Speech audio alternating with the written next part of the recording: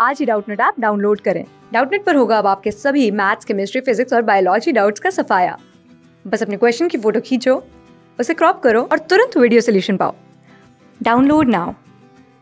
इस क्वेश्चन में दिया गया है कि a string is wrapped over a pulley and free end is fix to the ceiling as shown in the figure यानी कि एक ये पुली है हमारे पास। इसके अबाउट हमने एक स्ट्रिंग को रैप कर दिया और इस सीलिंग पे फिक्स कर दिया। मास इसका है m और रेडियस है r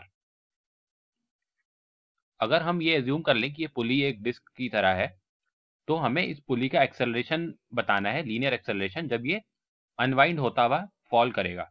और हमें ये ज्यूम करना है कि स्ट्रिंग और पुली के बीच में कोई स्लिपिंग नहीं है, यानी कि ये एक प्योर रोलिंग का मोशन है।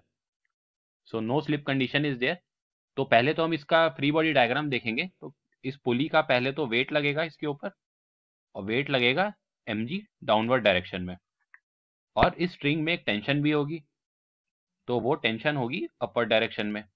और ये डिस्टेंस होगा इन दोनों के बीच में। ये आर रेडियस की पुली है तो आर डिस्टेंस इनके बीच में होगा। सपोज़ मैं इसका लीनियर एक्सेलरेशन मान लूँ। डाउनवर्ड डायरेक्शन में है ए और ये क्योंकि रोटेट भी कर रहा है, क्योंकि इसके ऊपर ये कपल एक्ट हो रहा है तो इसका एक एंगुलर एक्सेलरेशन भी होगा एल्फा तो हम देख पा रहे होंगे कि एल्फा कुछ क्लॉकवाइज डायरेक्शन में लगेगा। अब हम न्यूटन के इक्विलिब्रियम के लिए लॉ लगाएँगे हम। तो यहाँ पे हम इसका इक्विलिब्रियम वर्टिकल डायरेक्शन में देखें तो हम कैसे लिख सकते हैं इसको? हम लिख सकते हैं M G minus T is equal to M A क्योंकि इसका फोर्स नेट फोर्स ज़ीरो नहीं है, क्योंकि ये लीनियर एक्सेलेशन एग्जिबिट कर रहा है। तो इसमें जो नेट फोर्स होगा वो एम ए के बराबर होगा।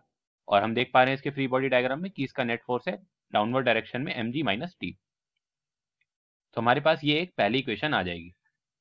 यहाँ पे हमें नो स्लिप कंडीशन भी दी गई है। तो हम इसमें, इसके पुली के सेंटर ऑफ़ मास के अबाउट हम एक और इक्वेशन लिख सकते हैं इसके रोटेशनल मोशन के रिगार्डिंग जो कि होगी torque is equal to I alpha where torque is the torque acting about it centre of mass इसका सेंटर ऑफ़ मास होगा ये सेंटर पे।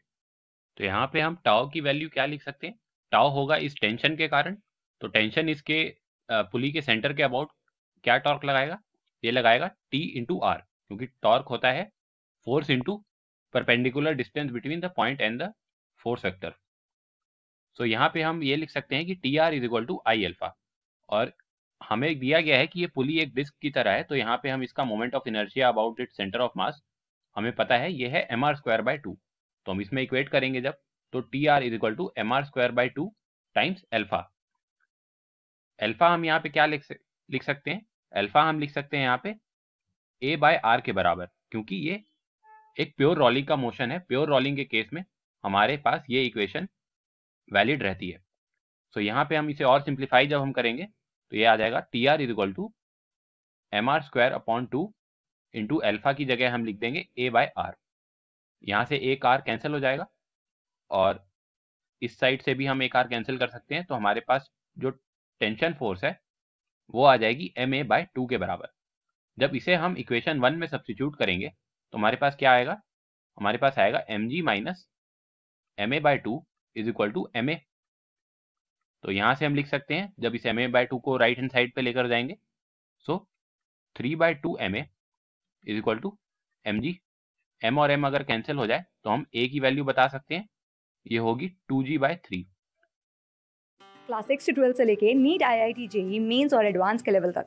दस मिलियन से ज़्यादा स्टूडेंट्स का भरोसा। आज ही डाउनलोड करें डाउट नेट आप या व्हाट्सअप कीजिए अपने डाउट्स आठ चार सौ चार सौ चार सौ पर।